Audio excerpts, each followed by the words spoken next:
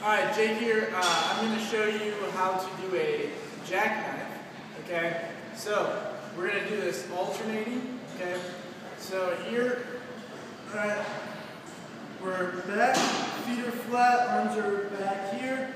We're going to squeeze up and attempt to touch our toe one leg at a time. So here, come up and squeeze, trying to touch your toe alternate sides, that opposite leg stays flat on the ground.